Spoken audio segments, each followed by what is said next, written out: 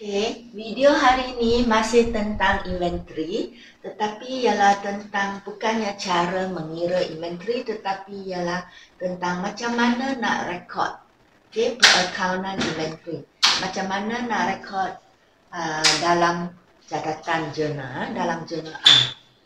Jadi uh, kan kita sudah belajar dua sistem kan mengira inventory, sistem berterusan dan sistem uh, berkala. Jadi actually ada tapak perbezaan cara nak rekod dalam buku eh untuk urus niaga, belian dan jualan antara dua sistem ni. Okay, kerana satu dia guna akaun belian kan. Uh, sistem berterusan tak ada akaun belian. Uh, jadi cara rekod untuk belian dan jualan adalah berbeza. Uh, yang ini kan dia guna inventory. Ini pula dia tak guna kad inventory. Jadi cara rekod berbeza dari segi akaun. Jadi kita tengok um, belian dulu eh. Satu belian, urus niaga belian. Kalau untuk sistem berkala, sistem berkala ialah sistem yang biasa kita guna. So far, the account that uh, we have been doing, semua actually ialah sistem berkala. Ya, yang biasa kita uh, record iaitu, biasalah kalau belian, kita akan debit belian. Okay. Then kalau kita bayar tunai, kredit tunai. Kalau kita hutang, kita kredit. Akaun belum bayar. Hmm, ataupun pemiutang. Tapi untuk sistem berterusan, as I said, dia tak ada akaun belian kan. Jadi semuanya adalah melalui kad inventory. Semua direkod kad inventory setiap hari. Setiap item yang jual, yang dibeli semua dalam inventory. Ha, jadi kita debit inventory. Kerana kita beli uh, barang masuk.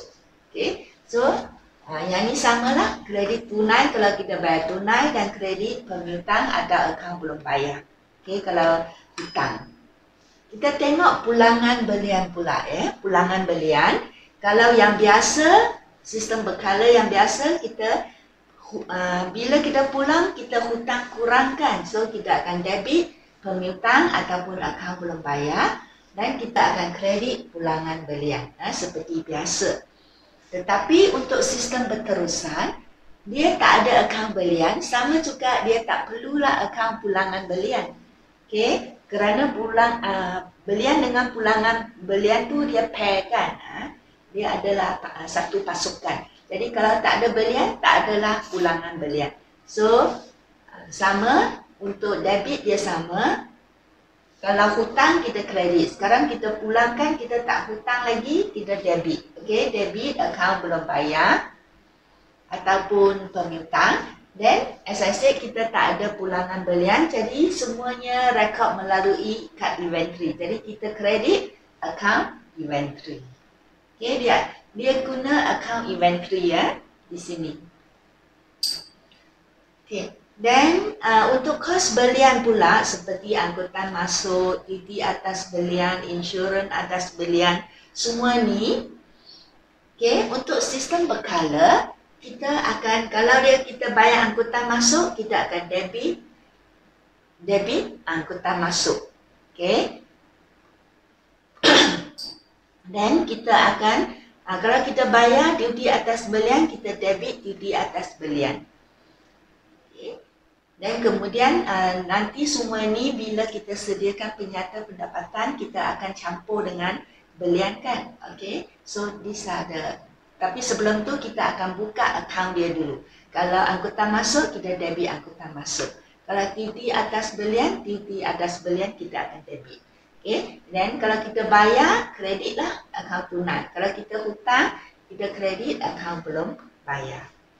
Tetapi untuk sistem berterusan, as I said, dia tak ada belian kan. Jadi dia semua akan masuk dalam inventory. Ha, whatever cost yang terlibat masa kita beli, semua akan terus debit dalam account inventory. So debit inventory, kredit tunai ataupun kalau uh, kita hutang, kita kredit account belum bayar. Tadi ialah urus niaga belian. Eh. Sekarang kita tengok urus niaga jualan. Okay. Sistem berkala seperti biasa. Kalau kita jual kepada pelanggan, kalau kita terima tunai, kita debit tunai. Kalau pelanggan tu tak bayar hutang, kita debit akaun belum bayar. ha, seperti biasa yang kita buat dan kita kredit hasil jualan atau jualan. Tetapi untuk sistem berterusan, okay, untuk sistem berterusan, kerana dia uh, melibat dia melibatkan inventory. Ha, bila kita jual, dia uh, bila kita jual barang keluar dari inventory. Okay, seperti tadi, bila kita beli barang masuk inventory, kita debit inventory. Jadi samalah bila kita jual barang keluar dari inventory. Jadi kita akan perlu rekod dalam inventory. Ha, tak seperti sistem berkala dia tak perlu. Okay, dia tak perlu kerana dia ada belian. Okay, ada akaun belian.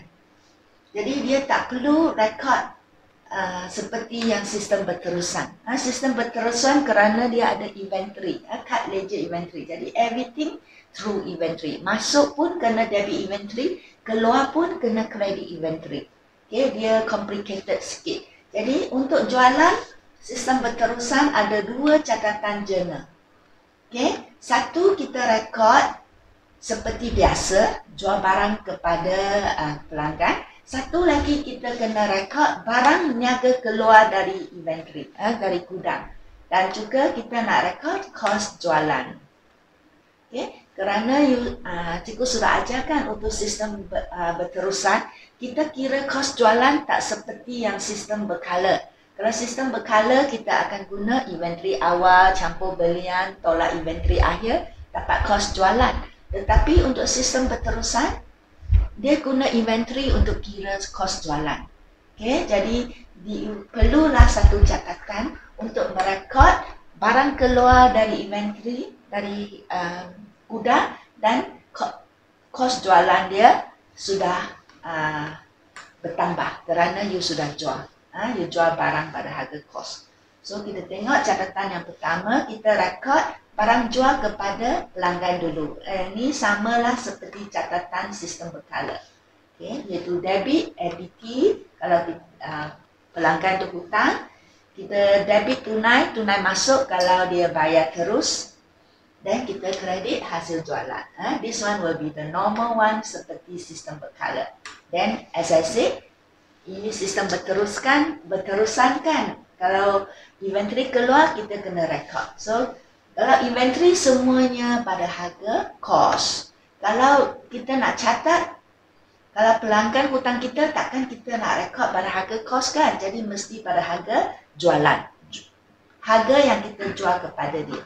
Eh? Tetapi bila kita nak rekod inventory keluar dari gudang, ingat cikgu kata semua ialah direkod pada harga kos. Okay? So, kita kredit inventory barang keluar dari gudang. Kenapa keluar? Kerana kita sudah jual. Ha? Jadi, kos jualan kita. Barang yang dijual pada harga kos sudah bertambah. Jadi, kita debit. Debit arti dia bertambah. Okay? Sudah naik. Jadi catatan pergu debit kos barang dijual, kredit inventory. Ingat ya, untuk jualan kena catat dua kali. So, sama juga untuk pulangan jualan. Okey, untuk pulangan jualan. Untuk yang sistem berkala seperti biasalah yang kita buat. Bila uh, pelanggan pulangkan barang, mesti dia hutang kita kurangkan. Jadi kita kredit APT dan kita debit pulangan jualan. Okay. Ha, tetapi untuk sistem berterusan, as I said, seperti urus niaga jualan, pulangan jualan pun dia melibatkan inventory. Jadi kita kena catat dua kali. Sekali kita merekod barang yang dipulangkan oleh pelanggan pada harga jualan. Okay. Takkan kita nak rekod masa kita jual kepada dia, kita jual harga jualan kan. Jadi bila dia pulangkan kepada kita, mesti pada harga jualan juga. Okay, so kita rekod pada harga jualan.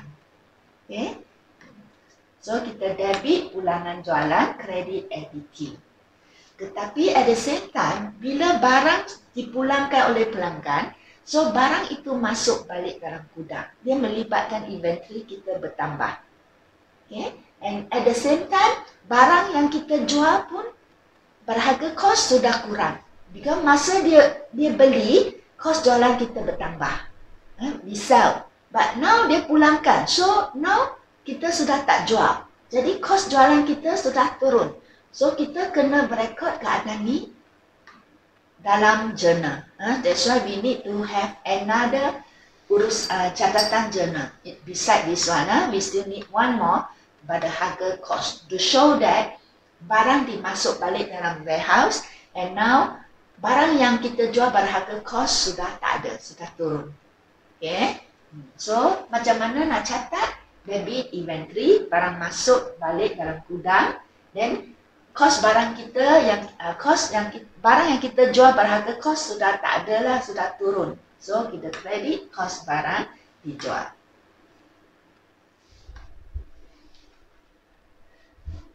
Okey, kita teruskan urus untuk urus niaga yang seterusnya. Kan untuk belian dan jualan dia melibatkan diskaun juga kan? So untuk belian kita ada diskaun diterima. Ha?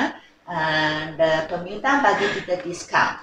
So untuk sistem berkala, bila dia bagi kita diskaun, kita hutang dia kurang. So kita debit, akaun belum bayar atau pemiutang.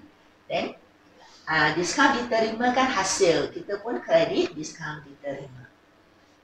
Dan untuk sistem berterusan sama kerana dia tak melibatkan anything about inventory. Kalau tak melibatkan inventory, dia will be the same. Ha? Tak, tak ada beza sistem berkala ber, berterusan. Jadi sama juga. Debit ABB, kredit diskaun diterima. So sama juga untuk diskaun diberi. Okay? Ha, sistem berkala, bila kita bagi diskaun kepada pelanggan, dia hutang kita kurang. So will credit ABT. Ha? Dan debit diskaun diberi kerana sebagai satu kerugian atau belanja. So sama juga untuk sistem berterusan. Catatan dia sama kerana dia again dia hanya melibatkan wang Tak melibatkan inventory. So catatan dia sama. Debit, discount diberi, kredit, EBT Okay, so dia ada perbezaan untuk catatan discount kerana tidak melibatkan keluar masuk inventory. Okay, dan satu perkara yang sangat penting soalan pernah keluar untuk sistem berterusan dalam STPM. Okay, sistem berterusan. Jadi uh, pelajar banyak cuai ya, banyak lalai dia uh, buat kesilapannya ni. Okey, jadi cikgu letak sini lah. Okey, perhatian ya. Untuk sistem berterusan, bila kita merekod belian dan jualan kredit, okay, kredit saja. Kalau melibatkan tunai tak? Kalau dia kredit, nama pemiutang dan penghutang tidak dicatat. Okay, kita tak catat nama dia. Ha, seperti pembetulan kesilapan. Ingat cikgu masa cikgu ajar pembetulan kesilapan pun sama. Kalau um, ada kesilapan dalam pemiutang dan penghutang, SSA kita letak ABB dan APT saja. So same as this system berterusan. Eh? Nama dia tak catat hanya perlu catat ABB atau equity sahaja. Ha, contoh, belian kredit daripada syarikat ABC. Okay. So kalau biasa mesti kalau biasa ya mesti letak kredit syarikat ABC kan? Ha, jangan eh ini sudah salah. Okay, yang betul letak saja ABB cukup. Jangan letak nama. Kalau letak nama terus kosong maka. Okay, so uh, ini sistem berterusan jadi tak ada account belian kan? So kita debit inventory menunjukkan inventory masuk. Kredit ABB ingat ya bukannya kredit syarikat ABC ha? nama jangan disebut